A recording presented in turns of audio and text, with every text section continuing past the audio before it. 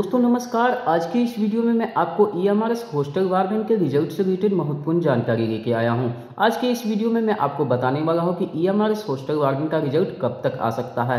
दोस्तों E M R S ने hostel warden का एग्ज़ाम 17 दिसंबर 2023 को कंडक्ट करवाया था।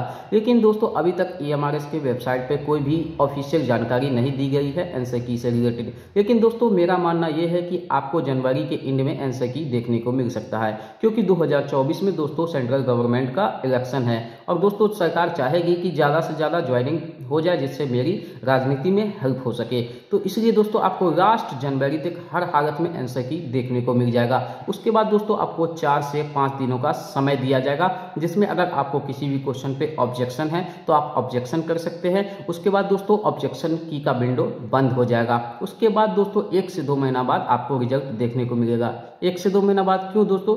क्योंकि ई एम आर एस ने हॉस्टल वार्डन का एग्ज़ाम ऑफलाइन मोड में कंडक्ट करवाया है, जिस कारण से दोस्तों अधिक मात्रा में कैंडिडेट होने के कारण इसमें एक से डेढ़ महीना का दोस्तों समय लगेगा।